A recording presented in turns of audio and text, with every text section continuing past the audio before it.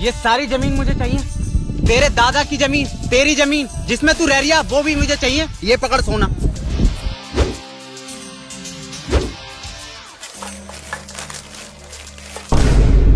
लोहे ले, प्लास्टिक ले, टीन ले, प्लास्टिक ले, कबाड़ी वाला। कुछ बेचना है क्या भाई साहब? टाइम नहीं है